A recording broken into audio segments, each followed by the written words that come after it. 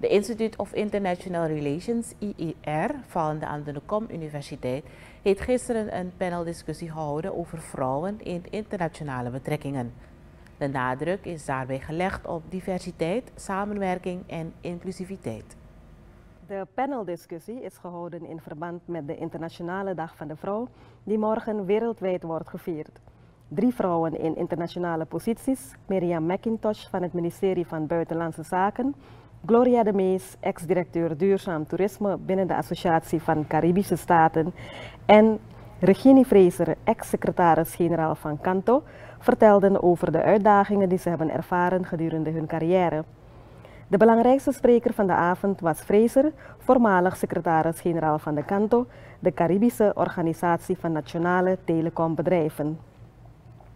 Uh, it is also important that we stay active in women programs and organizations such as the Humphrey Fellowship Program, Soroctomus International, and Powerful Ladies of Trinidad and Tobago to share the knowledge and experiences in a diverse group for the development of all people we are in contact with.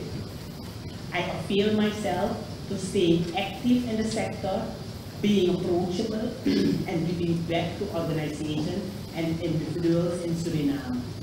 Bringing organizations and people together to reach goals and continue to establish partnerships which are important for real development. To this end, we are bringing Kanto and AREN, the organizations I best know, closer together to collaborate for the greater good, namely the development of the internet. Voorzitter van het bestuur van de Institute of International Relations, Thea Smit, zei dat als het aankomt op gendergelijkheid de wereld nog een lange weg te gaan heeft. Volgens de Verenigde Naties hebben ruim 2,7 miljard vrouwen nog steeds geen gelijke toegang tot banen in vergelijking met mannen. Wereldwijd zijn er minder dan 25% vrouwelijke parlementsleden en 1 op de 3 vrouwen ervaart gendergerelateerd geweld. Smit blikt tevreden terug op de avond. Ja, heel erg tevreden. Eigenlijk het, het doel was om mensen uh, te belichten die eigenlijk gewerkt hebben buiten Suriname, zodat ze hun uh, uh, ervaringen konden delen met wij die hier in Suriname wonen en werken. Waarom koos u het onderwerp vrouwen in toppositie in internationale betrekkingen? Nou, dus sowieso uh, 8 maart dacht ik van hey, Internationale Dag van de Vrouw en waar zijn we als vrouw?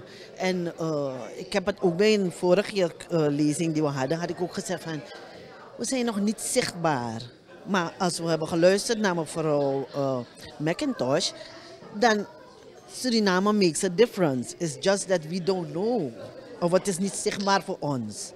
Maar doordat zij het deelt, dan weten wij ook van hé, hey, mensen weten wel degelijk wanneer we er werken, waar Suriname is en het kader daar geplaatst wordt. Dus daar gaat het om. Thea Smit, voorzitter van het bestuur van the Institute of International Relations van Antonicom Universiteit van Suriname.